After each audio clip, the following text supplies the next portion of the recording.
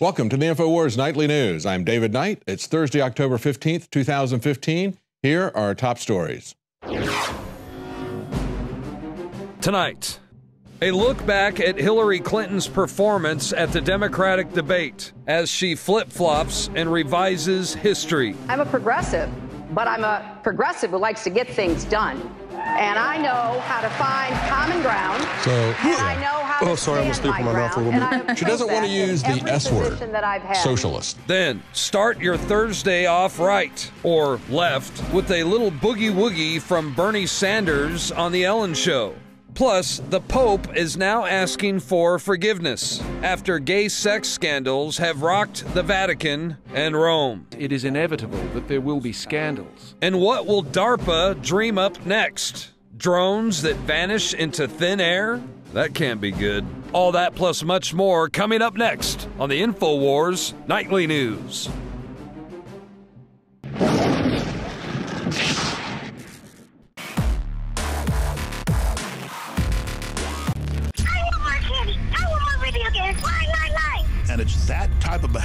That spurred me to do the research to develop a true nutraceutical formula that was designed to smooth out and help children focus. All of our children are hit with modern mind control. Television, music, fast food, GMOs, sugars, you name it. Young humans have not yet developed their nervous system and are being hammered daily by globalist concoctions. It's no wonder they can't focus and calm down and then are put on dangerous psychotropic drugs. Working with my team, we set out to find the best formula with the highest quality ingredients that children would actually like and take. We worked with the leading manufacturer in nutritional supplements that are safe for children to bring you the most affordable and powerful calming formula out there. Introducing Child Ease with herbs and calming extracts like chamomile and lemon balm and essential nutrients that taste great. Obtain your Child Ease today at InfoWarsLife.com. That's Child Ease exclusively at InfoWarsLife.com. Well, one of the key things that came out of the debate two nights ago was the refusal of the other four candidates to challenge Hillary Clinton on anything. And as a result of that, we have seen the media, the Democrat leftist media, as well as the Democrat National Committee coalesce around Hillary Clinton to try to keep Joe Biden, the only person who would really seriously challenge her, I think, to keep him out of the race. And of course, we saw Bernie Sanders dancing on the Ellen DeGeneres show, uh, basically dancing to Hillary's tune. That's what we saw in the debate as he tried to deflect criticism away from her national security violations, just calling it her emails. He says he's sick of hearing about her emails. Well, I'm sick of seeing this being spun as something as trivial, trivial as her emails. This is about the new national religion in Washington, and that is national security. Everything the government does is based on national security. Everything must be subordinate to it. Our rights, the rule of law, everything must be subordinate to national security. And yet you have someone here who willfully violated national security for whatever purposes, and she's not going to be held accountable. And it's the candidates themselves who are pushing away this criticism. Now, today we saw from the Democrat National Committee a chairwoman who is who is not a chairwoman but a committee woman who is on the uh, that DNC committee saying that the party is clearing a path for Hillary because the women in charge want it that way. Well, who would those women be? That would be the essentially the lesbian lefties who are supporting her candidacy. This committee woman rattled off a list of women at the top of the party hierarchy, said that two vice chairs helped to craft a decision that this summer in order to favor Clinton. She said that her party could promote Hillary because she's a woman and they risk having her implode after she's nominated. In other words, let's not get into the situation of pushing her because she's a woman. And if you remember at the very end of the debate, Hillary, when asked the question, how would your administration differ from Obama's? And she says, well, I'm a woman.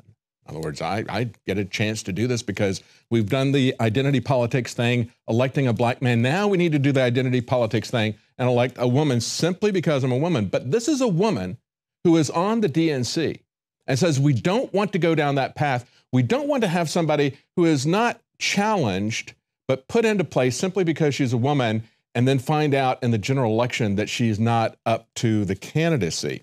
She says, I haven't heard anyone say we should make Hillary undergo a trial by fire. To the contrary, the women in charge seem eager more and more to have her skate into the general election. It's not healthy for the party if we get behind a woman because she's a woman and risk having her implode after she's nominated because she isn't tested sufficiently. They go on to say this time around, the DNC has sanctioned only six debates.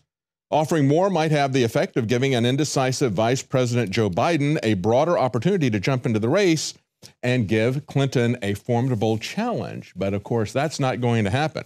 We see increasingly the media coming out and saying if Biden's only rationale is that Clinton is tanking, then he's no longer an option. And that's a uh, longtime Democrat strategist, Stephanie Cutter. She worked for President Obama's reelection, and she said Biden could now, quote, risk a backlash from Democrats if he runs. Look at the headlines from the mainstream media. Here's one from NBC. And of course, NBC has been relentlessly promoting Hillary Clinton. They had her on Saturday Night Live in order to do a bartender scene where she sings and talks about candidacy with a, an actor who's dressed up like Hillary Clinton, trying to personalize her, trying to make her look authentic and genuine, even though we know she's a cold, calculating, ambitious robot. And that's what we saw presented in a very light way, and they let her get away with it in the debate the other night. NBC says, Say no, Joe. Uh, they're telling Joe not to run. MSNBC says Joe Biden's new political reality. Things are getting tight for him. NPR, Joe Biden's window may have just closed. They say he's been Biden his time, of course, the would be candidate who never really seemed like he wanted to be a candidate. See, they're pushing him away even farther. Wall Street Journal Democrats press Joe Biden to make a decision on running for the presidency. They say a polished performance from Hillary Clinton, and they even they use that word multiple times. If you look at these articles, everybody's talking about what a great performance Hillary Clinton gave. Yes, she gave a performance on Saturday Night Live. She's given performances on other things. She was asked a lot of softball questions the following Monday on uh, an NBC morning news program. But a debate shouldn't be a performance. It ought to be a discussion of the issues. And the fact that they continually refer to it as a performance shows how carefully crafted it was in order to help Hillary Clinton. This is even a retired Teamster official, William G. Mar- Morrow uh, from New Hampshire, said it was a great performance. It would be tough for Joe Biden to come in now. everybody, even the people who support her, have no problems anymore with this political system that we have in terms of calling these debates performances. Now, they also talk about the real deadlines that may be looming before Joe Biden. They say there are some deadlines for filing. The Georgia deadline is going to be coming up October the 29th. There's some more deadlines coming up in other states on the 6th of November, the 9th, the 17th, the 30th. That's Alabama, Arkansas, Michigan, and Florida, respectively. They say the deadlines could be subject to change, and they're not necessarily hard and fast deadlines. But who controls those deadlines? So these deadlines are set by the Democrat parties in the various states, and it could change but it's going to depend, of course, as to who's in charge of the Democrat Party. There certainly is a contingency that doesn't like Hillary Clinton, that likes Joe Biden. All of them were running uh, along with Barack Obama, Hillary, and Biden were running, and he got the vice presidential nod. So he has nod. He has a lot of people who are supporting him in the Democrat Party who would like to see him run. But it looks now like they are coalescing around Hillary after the very first debate. Now, he said just before the debate, when you tell the truth in Washington, it's called a gaffe, trying to position himself as being someone who's authentic. But I think it was very telling that Hillary had such a great performance. She had no gaffes because she didn't tell the truth. A key issue here is what she said about the Trans Pacific Partnership. They called her on flip flopping in her position. And she said, Well, I really didn't flip flop on TPP. I waited until the details came out, and then I decided that I didn't like it. And remember when we were watching this, we called her on this. Let's play that clip again. Well, even with this TPP flip flop, you, you, remember how she held her tongue and she said, I'm going to wait till the negotiations are over to say something about it. And it wasn't until days after the negotiations were over that she says, Well, this version of it, I don't agree with it. Meanwhile, for years, I think what, 45 times? And has she really been able to see it? And, only the people who go through special non-disclosure agreements that are also members of Congress or the Senate are allowed to see that. How, how did she see it? How does she know what's in it? Uh, we don't know. Let's. Uh, we're going to ask some questions. Let's pick up with the audio feed, folks. Some Democrats believe you changed your positions based on political expediency. You were against same sex marriage, now you're for it. You defended President Obama's immigration Hitting her right policies, now you say they're too flip-flopping. harsh. Won't You even make eye contact with deal her? Dozens of times. You even called it the gold standard. He's like, Now, "I'm sorry, suddenly Miss Clinton. week, I'm sorry." against it. Will you say anything? Of course, it was Cokie Roberts that says she knows everything about everything, over every the course issue. of my entire life. I have So he just hit her with all the things she flip-flopped on right- right off the bat, I've been right out the consistent over my entire life. Let's get this out of the way. I do absorb new information. I do Wow. And just completely deny the it. world. Everything You know, that the voters are concerned deal. with, I he hit say her all in one piece. State three years ago that I hope One question, so they can get that out of the way. And It was just Let's finally clear the air here. negotiated Yeah. last week. And in looking at it, it didn't meet my standards. My standards for Can I get a little more audio jobs here? For I'm- Americans, for Yeah. raising How can she for even Americans. say the word and I want to make sure that I can look into standard. the eyes of any middle-class American and say, this will help raise shipment. You know, when I left law school, my first job was with the Children's Defense Fund. And for all the years since, I have been focused on how we're going to unstack the deck and how we're going to make it possible for more people to have the experience I had. You know, to be able to come from a grandfather who was a factory worker, a father who was a small business person, and now asking the people of America to elect me president. Just for the record, are you a progressive or are you a moderate? I'm a progressive, but I'm a progressive who likes to get things done. And I know how to find common ground. So, and I know how Oh, to sorry, I'm gonna stand speak my with my mouth a little bit. She doesn't want to use the S word, that I've had. socialist. Even But you have to understand they love to play who with never had a good word to semantics. So again, that was our live coverage at the time of the debate, and we immediately pointed out that nobody gets to see that unless they sign non-disclosure agreements and go through a lot of a lot of other red tape. And most people in, in Congress haven't bothered to go through it. As a matter of fact, who would show that to Hillary Clinton? Someone who is known for not taking security seriously. Maybe she would have put the TPP on her server or shared it with some of her staff. The secret would have been out.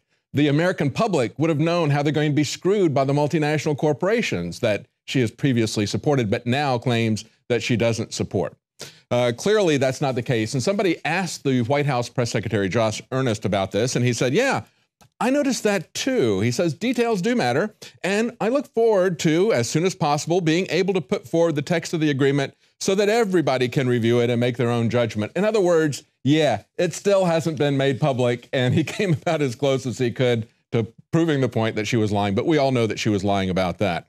Now, the other things that were very interesting in the debate, I think, is the fact that they were, had both candidates, both uh, Sanders and Clinton, because the other three really didn't do anything to establish themselves. They're polling essentially at zero. They didn't choose to attack Hillary Clinton. They said they want to make every public college and university in this country tuition free. That's what Sanders said. Clinton said essentially the same thing. We want to enable anyone to go to college. And again, when they say anyone, you have to understand what they're talking about is anyone in the world.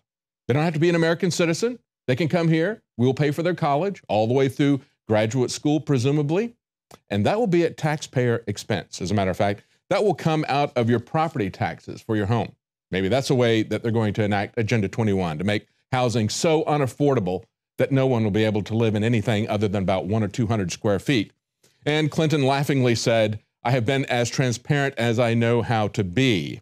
Yet, as they point out in an AP story, she's yet to explain how the server was set up, how it was serviced, whether she performed, informed the State Department about her decision to use a private system, and most importantly, how she protected it from hacking attempts. And again, the sacred cow of the American government, national security, is the issue here. Just like it was with Bill Clinton, we were told, well, they tried to impeach him because he had an affair with somebody. No, they tried to impeach him because he lied under oath. He's an attorney, he's a president. When you lie under oath, no matter what the subject is, it didn't really matter what he was lying under oath about. The fact that he committed perjury was a crime, and that's what they tried to impeach him for. The fact that you would violate national security procedures are what's really important, even more important than any kind of uh, information about Benghazi that they might discover in her emails. It's the violation of security protocols willfully done by Hillary Clinton. Now, one of the other things that they talked about, of course, they dance around the issue of the Federal Reserve. They want to talk about Wall Street, but they don't really want to talk about the core issue, which is the Federal Reserve. We had a, uh, a, a on CNBC. We had Dick Bove, and this is somebody who is part of a investment uh, group. It's the Rafferty capital markets. He's a vice president of